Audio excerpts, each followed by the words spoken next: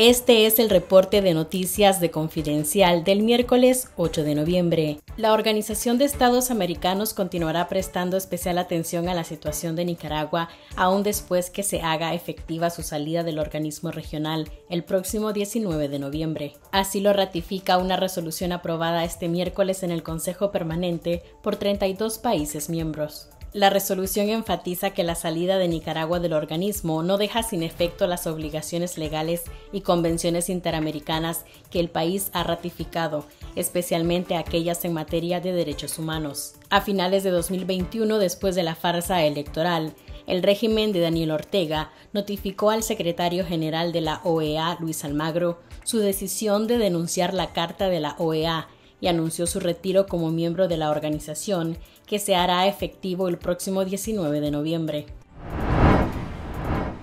Dos relatoras de la Organización de las Naciones Unidas pidieron al gobierno de Nicaragua la liberación del obispo de Matagalpa, Rolando Álvarez, encarcelado por el régimen desde agosto de 2022 la relatora de la ONU para la Libertad de Expresión, Irene Khan, y su homóloga para la libertad religiosa, Nasila Ganea, lanzaron esta petición en un comunicado después de que el pasado 18 de octubre fueron liberados y desterrados otros 12 sacerdotes católicos en Nicaragua. Ambas relatoras expresaron en la petición una profunda preocupación sobre la situación del obispo, quien se encuentra en régimen de aislamiento y en condiciones que, según ellas, contravienen gravemente las reglas Nelson Mandela, fijadas por la ONU y que establecen unos principios mínimos para el tratamiento digno de los prisioneros en el mundo.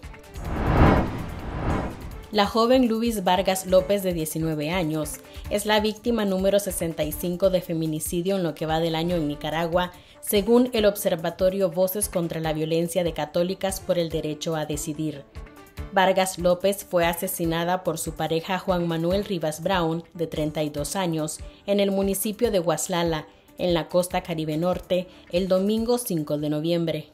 Los datos de femicidios registrados hasta este 7 de noviembre de 2023 son similares al total contabilizado en todo el 2022, cuando el observatorio contabilizó 68 mujeres nicaragüenses asesinadas a causa de la violencia machista, incluidas 11 que fueron asesinadas fuera de Nicaragua. La organización indicó que las regiones autónomas del Caribe Norte y el Caribe Sur son donde más se registran casos de femicidios debido a la ausencia de las autoridades nacionales y el abandono que sufren estos territorios históricamente marginados.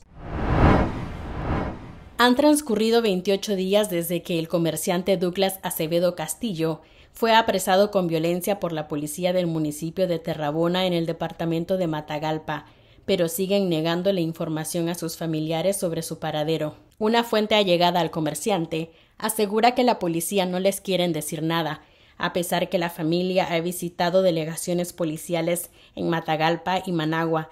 También se desconoce si existe algún juicio en su contra. Acevedo, de 70 años, es dueño de una pulpería frente a la unidad municipal de la policía en el centro del poblado de Terrabona.